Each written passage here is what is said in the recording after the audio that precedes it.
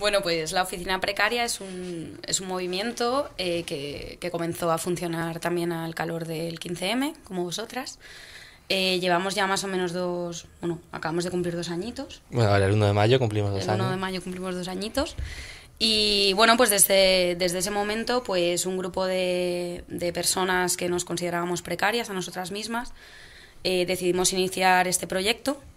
eh, que es un proyecto, pues, mm, por así decirlo, que tiene múltiples ramas. Eh, la mayor parte de, de, estas ramas pues van precisamente orientadas a, a, eso, a luchar contra, contra la precariedad a la que nos encontramos desde, desde el inicio de la crisis. Eh, quizás nos iniciamos más con el tema un poco legal,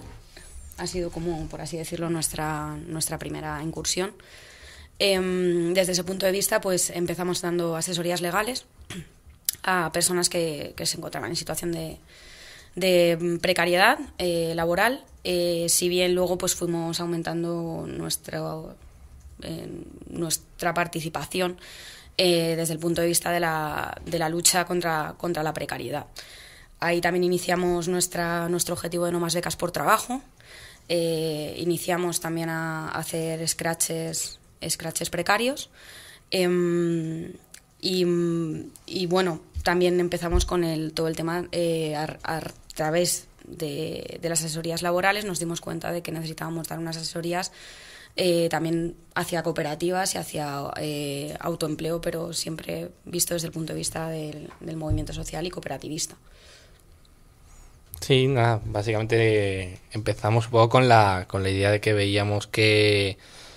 éramos una serie de trabajadores y de gente que entraban en el mundo del trabajo y que todo nuestro alrededor no,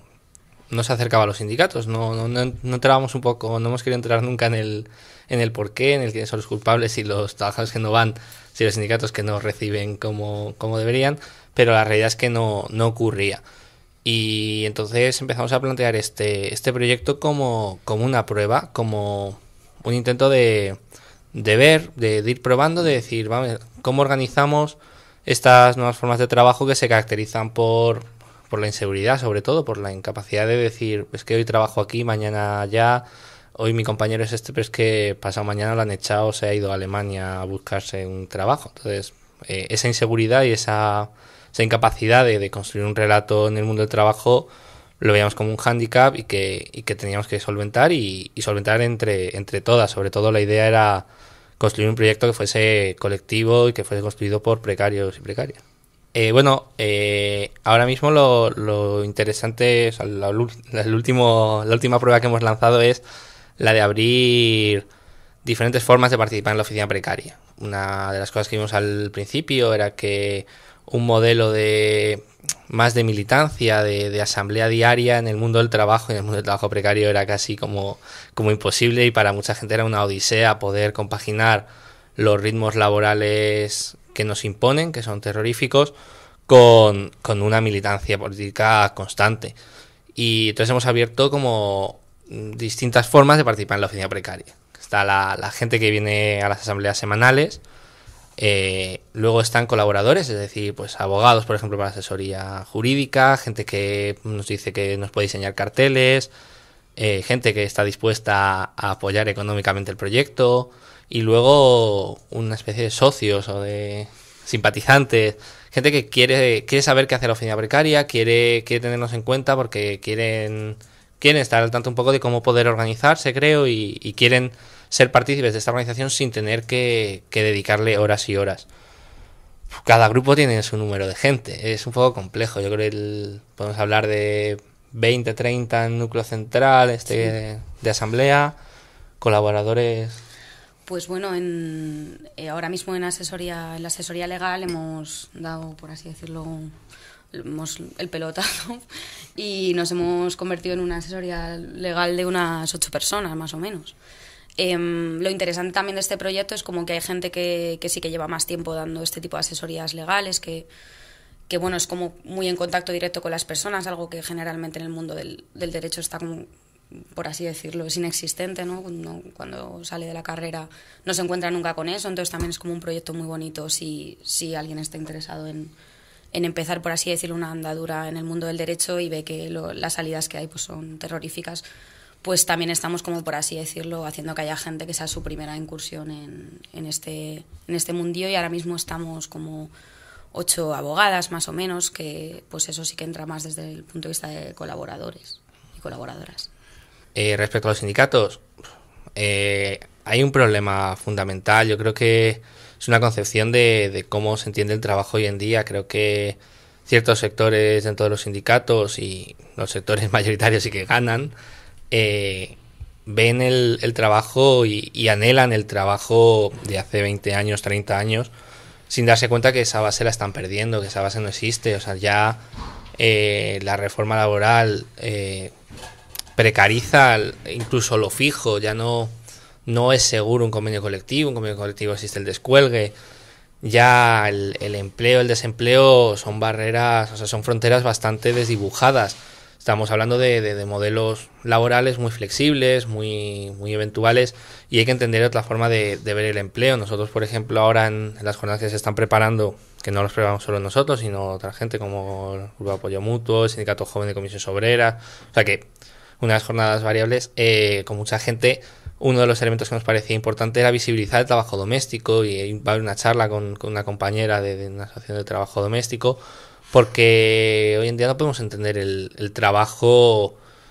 o sea ya no se puede entender así en el siglo XIX ni a principios del siglo XX ni a mediados en ningún momento solo el trabajo industrial pero hay ciertos sectores del sindicalismo que les encantaría porque es fácil y en estos momentos de incertidumbre y dificultades es más fácil decir, bueno, los parados no es culpa mía, a mí me dan igual, yo me quedo a lo mío, a las eh, grandes empresas que quedan. Bueno. Eh, bueno, pues la, asesoría laboral está bastante orientada a todo el tema de, en general, de la precarización, eh, como nosotras lo, entendemos, que va desde personas que se encuentran en ese momento pues con contratos parciales, eh, falsos autónomos, eh, becados que, que, bueno que no están cobrando pues por ejemplo la, parte que les corresponde o dentro del programa de no más becas por trabajo que están cubriendo puestos en realidad que son puestos laborales a través de, puestos que deberían ser formativos eh, gente que, no, que está cobrando eh, en negro que no tienen un contrato eh, luego a esto pues se le puede unir el hecho de además de, estar en esta situación de discriminación pues unirle por ejemplo que eres una persona extracomunitaria pues la, las asesorías van eh, muy orientadas en, en ese aspecto.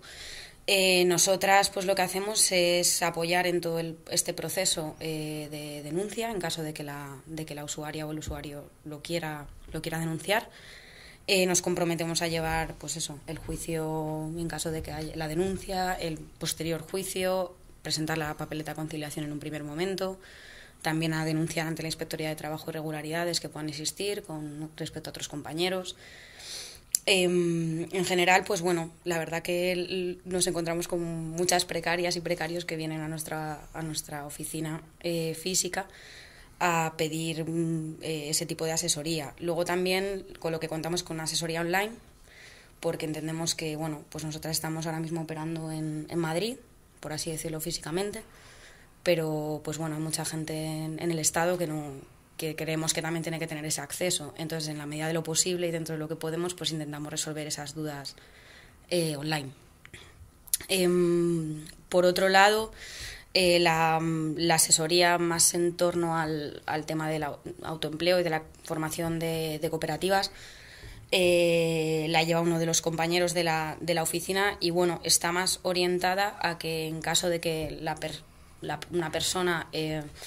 tenga una intención de montar, por así decirlo, su propia cooperativa, pues se le pueda, por así decirlo, mmm, lo entendemos más como desde un punto de vista de, de unión también con otros colectivos que nosotras conocemos que están trabajando en eso, qué tipo de legislación existe al respecto, una, como una base de orientación para formar tu propia cooperativa, que eso puede ser algo que en un momento determinado eh, pues no se tenga acceso tan fácil. Y por suerte pues trabajamos y conocemos a muchas eh, compañeras y compañeros que han hecho su propia cooperativa y que por lo tanto a lo mejor tienen esos, esos conocimientos de, para poderla eh, crear. Respecto a la gente que viene que viene a las, a las asesorías de todo tipo, eh, sorprendía mucho. Eh. O sea, cuando empezamos pensamos, Buah, esto va a ser una cosa para nosotros y nuestros colegas, eh, todo gente joven y del rollo, y, y no, fuera, fuera, de, fuera de clichés totalmente. Eh, hemos llevado gente que trabajaba para la, en la fábrica de Airbus, hemos llevado a mujeres migrantes en, con problemas de, trabajo doméstico, a personas que universitarios que trabajaban en academias de, idiomas, de todo, o sea, absolutamente de todo. Es, lo, que además nos, nos ha ido dando ideas de, para dónde, dónde señalar y estamos viendo eso, un poco la, precariedad por todos lados que, veíamos. Y luego, respecto al emprendizaje, es verdad que hay, hay una burbuja. Eh, no sé si es una burbuja, porque es verdad que no sabemos si va a estallar. La, realidad es que con un, en un país donde el desempleo llega a los 6 millones de personas y la riqueza está, eh, mm, los empresarios, o sea, la, la, el 1% lo tiene controlado. Entonces, creo que estas soluciones, estas soluciones colectivas, eh, igual que igual que fuera de, de, los ámbitos más, más izquierda, más en torno a 15M, que, que sí que está haciendo con el con el tema cooperativo, fuera está haciendo todo este ciclo del mito del emprendedor individual. Nosotros lo que venimos a decir es, es necesario eh, tomar las riendas de la producción, hacernos con la producción nosotras como trabajadoras eh, y hay que hacerlo de manera colectiva, no, no somos seres aislados. De hecho, la asesoría de, de cooperativas colabora fuertemente con, con, el ECO, que tiene una asesoría cooperativa que es mucho más fuerte que la nuestra y mucho más potente, que no solo ya es el proceso productivo el que se hace en, en, colectividad, se hace en, cooperativa, sino también el proceso de asesoramiento, el proceso de, de construcción de ese proyecto es, es cooperativo las cooperativas creadas primero asesoran a la siguiente, les dan información. Esa es la, la ponencia que nosotros le vemos, la, la posibilidad de, de, empezar a tomar, verdad que a un nivel pequeño y, en muchos casos de autoexplotación, eh, las riendas de, del, proceso productivo. Yo, yo, prefiero explotarme a mí, a mí mismo o que sea con mis, con mis colegas o con gente con la que me fío, con la que estoy construyendo el proyecto a, a vender mi fuerza de trabajo a un tipo que me da exactamente igual. Son, son dos reformas laborales que se complementan, no, no podemos hablar de dos... Realmente creo que deberíamos dejar de hablar de dos reformas laborales del PP y el PSOE y hablar de una reforma laboral y la corrección, y aún queda una tercera corrección. Eh, el, problema, el problema fundamental de esta reforma laboral es que es un ataque directo contra la negociación colectiva, contra la forma de, de gestionar el derecho laboral tal y como la entendíamos, en la que los sindicatos o los trabajadores organizados, generalmente en sindicatos, verdad que eso es un poco problemático a la larga y creo que los sindicatos militares esta reforma laboral lo que han, lo que se les ha venido encima es eh, una cosa que ellos habían gestado, pero pero la realidad es que a los trabajadores significa la pérdida absoluta del poder de negociación, el fin de la otra actividad, que es, decir, que los convenios colectivos, una vez denunciados, tienen fecha de caducidad, significa que los empresarios pueden pueden pararse, decir, hasta aquí no negocio y si no y si no te gusta pues te quedas sin convenio. Eh, eso a la no a la larga, decía a la larga, pero no, eso en, en menos de un año ha significado con datos del gobierno una bajada del 15% de los salarios. Eh, ha significado un empeoramiento brutal de las condiciones de trabajo y está significando pues un aumento de, la precariedad laboral en, en, sectores que antes parecía inimaginable. Además, eh, este, esta reforma laboral no ha creado empleo. Ahora parece que empiezan los brotes verdes de, del Partido Popular, que, que la última, los últimos datos era una destrucción de empleo fijo mientras que se creaba el, empleo creado, el 70% del empleo creado eran mmm, contratos en prácticas e información, o sea, contratos que, que, que se cobra menos que, que el contrato ordinario. Eh, y, y, vemos, o sea,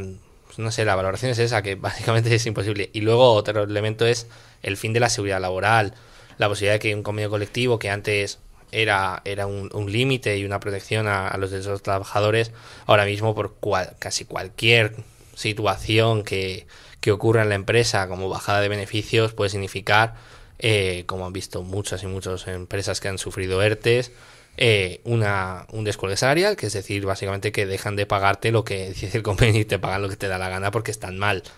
Eh, por lo tanto, es, absurda, es, es el fin del derecho laboral tal y como entendíamos como, como forma de, seguridad de los trabajadores. O sea, pues yo creo que eso está muy relacionado con lo que también acaba de decir Ignacio, ¿no? De que en el momento en el que las reformas laborales están, están haciendo, eh, están ayudando a que puedan existir los descuelgues, están ayudando a que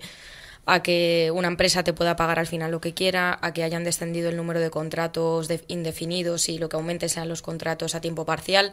Obviamente el poder adquisitivo disminuye porque disminuyen de manera sustancial eh, los salarios y sin embargo el coste de vida, como hemos visto desde que entramos en el euro, se ha multiplicado eh, exponencialmente, por así decirlo. Eh, con respecto a tu broma de pregunta, que ¿Cuántas de nosotras ganamos mil euros al mes? Pues yo creo que ninguna. De hecho, por eso estamos a, por eso empezamos todo esto, ¿no? No porque queramos ganar mil euros al mes, sino porque queremos que nuestras vidas laborales sean, sean dignas y que nuestra vida en sí sea digna de ser vivida, ¿no? Em, en este sentido, pues también vemos como la, ya no solo la, reforma laboral, sino el, eh, las sucesivas, eh, los sucesivos recortes y privatizaciones están generando que la posibilidad de conseguir un empleo, la posibilidad de eh, conseguir eh, una educación universitaria, em, la posibilidad de, recibir becas, de recibir ayudas para los cuidados, pues están provocando que una gran parte de la población se esté quedando fuera de, de llegar a un nivel a través educativo, formativo, a través del cual pueda eh, lograr en un momento determinado, determinado conseguir esa, ese mínimo eh, vital. Eh, los recortes, además, para nosotras, especialmente que queremos tener ese punto de vista de feminista, también están generando que una gran parte de mujeres estén, que ya la precariedad de por sí existía antes de, esta crisis, pero que esté aumentando el número de mujeres que han tenido que, que están teniendo que dejar sus empleos parciales y volver a casa por, a trabajar en, en, todo el tema de cuidados y de labores domésticas porque eh, se han recortado todas las ayudas sociales que existían para el tema de, cuidados de mayores o, de guarderías, por ejemplo. Eh, entonces, eh, cuando el, también queremos no eso, pues que cuando vivir es un lujo, luchar contra la precariedad es un derecho, ¿no? Por así decirlo. Además, hay un elemento de lo que decías de, claro, yo recuerdo el artículo del País de los mil euros eh, y esto es lo que me refería con, que los sindicatos son... Año 2005, si la memoria no me falla. lo que digo es que ahí es donde decía que los sindicatos en esta reforma laboral están sufriendo lo, no hecho en las décadas anteriores cuando, cuando empezó el tema del mileurismo y, y mileuristas en algunos sectores de la población siempre ha sido un privilegio porque no estamos viviendo, no vivimos en Suecia. Eh, cuando esto empezó a ser una emergencia social, los sindicatos miraron para otro lado y dijeron, no, no, estos no son mis afiliados, yo miro a mis afiliados, miro a mis afiliados, miro a mis afiliados, y de repente sus afiliados son mileuristas y lo que tienen detrás es, eh, trabajadores pobres. Eh,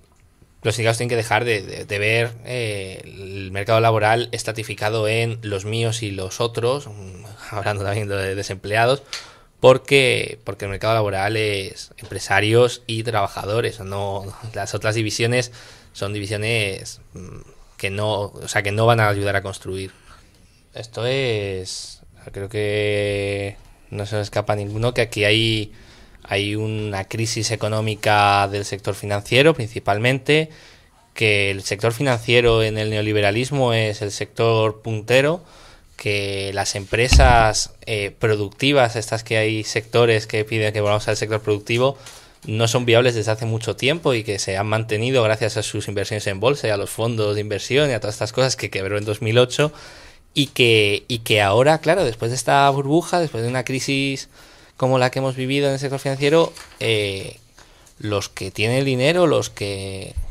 el 1% necesita recuperar su tasa de ganancia, necesita volver a, vivir a todo tren, porque eso es para lo que se dedican, son capitalistas, son depredadores. Y, en Europa lo que han visto es que el elemento donde podían acumular es desposeyendo a las mayorías de todo lo conquistado, de los salarios conquistados, de los derechos conquistados, de los servicios conquistados, del territorio conquistado, pues estamos vendiendo las estaciones de metro, estamos vendiendo las plazas, estamos vendiéndolas para que ganen, ganen los que antes ganaban haciendo la burbuja del ladrillo, los que antes ganaban eh, vendiendo fondos y comprando fondos y, ganan hundiendo fábricas en Bangladesh. Eh, con respecto a, lo que acaba de decir Robert, yo creo que, que, por un lado, claro, es que si no, si no pensamos que, algún día saldremos de esta, pues bueno, apaga y vámonos. Eh, para mí, de lo poco, bueno, de lo muy bueno que ha salido también de, esta situación de crisis económica es que nos hemos repensado eh, como colectivos, nos hemos repensado como manera de actuar y como forma de, estar en el mundo. Y para mí eso es, es importante porque creo que, que, salgamos de aquí como estábamos en el 2007, pues no es desde luego lo que pretendemos los colectivos que estamos luchando contra la precariedad y, que estamos luchando contra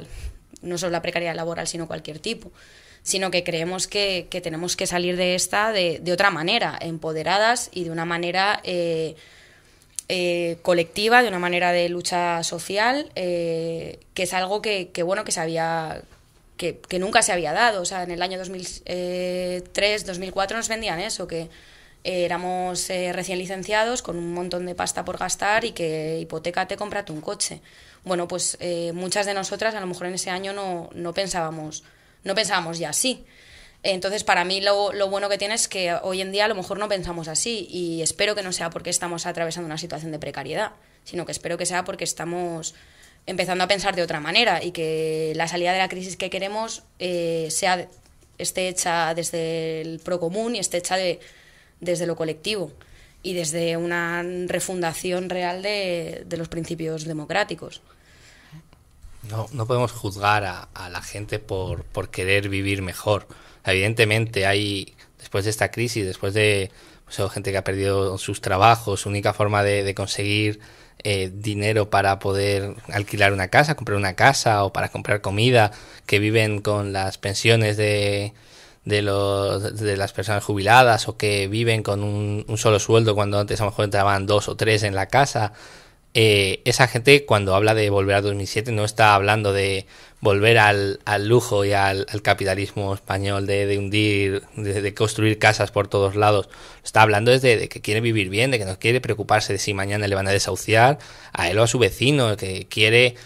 eh, poder eh, ir de, bares, poder ir de vacaciones, cosas que, hasta hace nada, y creo que también eso, es la, realidad. ya son años, pero lo que llamamos de crisis, pero no son tantos. Eh, todo el mundo recuerda, recuerda cuando todo el mundo salía de vacaciones, cuando lo de los desahucios era una cosa, una locura que no pasaba nunca. Y entonces, claro, es normal que la gente quiera volver. Eh, la situación es que, que, no, no parece que, vayamos a poder volver a 2007 gratis. creo que va a haber que lucharlo y va a haber que pelearlo. Y en esa pelea creo que es donde va a estar lo que, lo que dice Alicia de, de repensarnos cuánto, cuánto de bueno tenía 2007. Básicamente, yo creo que tiene mucho que ver con que la precariedad o lo que entendemos por, por precariedad y esto que hablábamos de la frontera entre desempleo y trabajo está desdibujada, la frontera entre formación y empleo está desdibujada, entre cuidados y el empleo formal está desdibujado. Todo esto, estas pérdidas de, de, de, las fronteras clásicas del empleo hacen que, que la gente no, no sienta una identificación en el empleo, entonces es más difícil movilizar a grandes capas de la población en torno al empleo porque el empleo es esa cosa que te da dinero y que cuanto antes te quites de en medio mejor. Entonces, como, joder, salgo de trabajar de este curro de mierda que me va a durar dos meses, ¿qué me voy a meter? ¿A pelearme por este curro de mierda que me va a durar dos meses? No, me merece la pena. En cambio, la casa sí, la casa es el territorio, es donde has hecho tu vida, donde has construido tu vida, igual que la sanidad, la educación, son esas estructuras que, que aún permanecen y que, y que a la gente le importan porque permanecen. Cuando el empleo no permanece, te, da exactamente igual. Yo lo, hemos visto muchas veces, les decíamos a la gente, oye, venga, montamos un piquete, montamos. Decía, pues no, pues si me han echado, si es que me van a echar, ¿y qué voy a hacer? ¿Volver ahí? Que me, si me están pagando 4 euros la hora, ¿para, qué voy a volver? Me, ya encontraré otra cosa igual. Un poco, yo creo que ese es un problema fundamental en el empleo. Pues bueno, quizás es uno de los grupos más, más importantes de, precarias y precarios. Teniendo, dura pugna con otros, ¿no? En dura pugna con, otros colectivos y otros sectores, pero teniendo en cuenta que en España hay un 55% de paro juvenil, eh, pues quizás eh, sea un grupo bien representativo. El proyecto de, No Más Becas por Trabajo pues sale precisamente de esto, de que a partir de, la última reforma, creo que fue, si no corrígeme Ignacio, eh, se estableció que el contrato de, prácticas formativas podía durar hasta 18 meses. Eh, esto es una locura para nosotras, es algo que, o sea, que es como la precariedad a la enésima potencia, porque significa que tú estás trabajando eh, en, en, una, bueno, en principio haciendo una práctica o beca formativa para una empresa y te tienen allí durante 18 meses. Para empezar, eh, la, situación real que creemos es que una gran parte de estas personas que han sido contratadas por becas formativas lo que en realidad están haciendo es cubrir un, puesto un puesto eh, laboral no están en realidad eh, adquiriendo una serie de conocimientos, o bueno, los primeros meses pueden estar haciéndolo, pero después lo que pasan a hacer es cubrir un puesto que la empresa no quiere estar pagando. Como además tenemos todo el problema de que, perdón, de que lo que hacen ahora mismo las, eh, las empresas, es decir, bueno, sin experiencia eh, laboral o profesional, no puedes conseguir un trabajo, no vas a poder entrar en el mercado laboral, pues hemos caído en, la, en las redes de la, de, las becas continuas, una detrás de otra, una práctica, una, unas prácticas detrás de otras para ganar esa experiencia que luego nos van a pedir a la hora de, encontrar un, trabajo ya remunerado. Eh, entonces, el programa de No Más Becas por Trabajo eh, sale, eh, surge precisamente para denunciar estas situaciones en las que nos encontrábamos con que personas estaban en realidad cubriendo puestos de, trabajo cuando en realidad lo que estaban era con prácticas formativas, ya sea universitarias o posuniversitarias. Entonces lo que queríamos era pues que estos hechos se denunciaran y también pues como por así decirlo dar ese apoyo legal y más, más logístico, ¿no? Para ya no solo denunciar este hecho públicamente o a través de campañas de comunicación, sino que estas personas pudieran realmente denunciar estos, estos casos, porque ahora mismo no existe una, una legislación que contemple las, las becas. Entonces, para nosotras también era importante que eso, eh, haciendo un poco de incidencia política y de presión, se, sea algo que, se maneje en un futuro. Eh, y sobre el tema feminista, para nosotros es un, es un elemento principal eh, al hablar de precariedad, hablar de, género y de feminismo, porque entendemos que, este, este, lema de precariedad al cuadrado es un tema que, ataca al, centro del problema en torno a la precariedad y a las nuevas formas de trabajo. Eh, hemos hecho bastante trabajo y bastante charlas, talleres, formaciones, eh, acciones hacia afuera sobre, sobre cuestiones sobre mucha relación, porque eh, en parte la, la precariedad Mm, tiene un, alto elemento de, feminización del trabajo, de, entender que las, los trabajos que hasta ahora eh, se entendían para, para la mujer, eh, integrar un montón de esos elementos en, las nuevas formas de trabajo. Entonces es una explotación que a las mujeres está siendo mucho más, mucho más fuerte. Además, pues como decía antes Alicia, en, todo el tema unido a los temas de recortes, cuando hay que elegir quién, quién se queda en casa porque, porque mm, ya no hay beca de comedor, cuando hay que elegir quién se queda a cuidar a los hijos porque se ha puesto enfermo o quién cuida. Eh, estamos en un sistema patriarcal y ese peso recae sobre las mujeres y la doble explotación recae sobre las mujeres principalmente. Todos estos elementos nos hacen, nos hacen pensar esto no para nosotros no es un lema, para nosotros es un, es una línea de trabajo concreta y, y que además nos esforzamos y que tratamos de esforzarnos mucho en, en, que no quede relegada dentro de este discurso de no, lo importante es primero solucionamos el problema de los trabajadores precarios y después ya hablaremos del tema de las mujeres. No, no, no, no, no lo diferenciamos porque creemos que, que además el, eso, el modelo de la precariedad, este modelo de gestión del, del trabajo asalariado, eh, utiliza el, el, patriarcado como, como aliado fundamental, mucho más incluso queremos que, que en, modelos en modelos industriales fordistas anteriores, en, aquí nos lo o sea, nos atraviesa absolutamente. Eh, pero bueno, o sea, no conciliación familiar, eh, tenemos que dejar de entender la familia como la familia clásica. en la, gente, el, precariado joven, también tiene problemas para, para cuadrar sus, sus vidas familiares y, personales, y ese es el tema fundamental.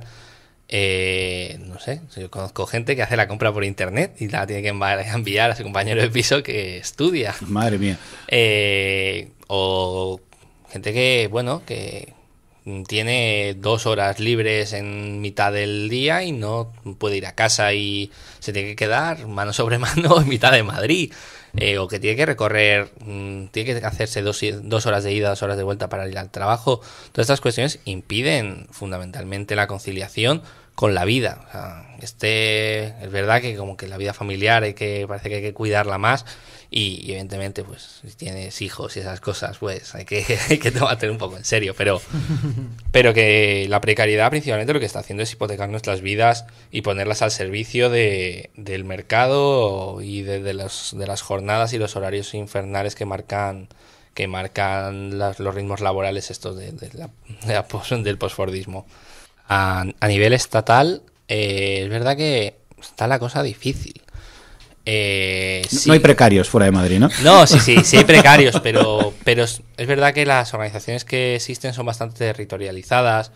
Eh, hemos estado, hemos tenido contactos con la asamblea de parados de, de, Iruña, hemos tenido con, con, gente en Valencia, surgió un, proyecto de oficina precaria en Triana, otro en Torrent, otro en Sagunt, o sea, en, distintos, en distintos sitios sí que han salido,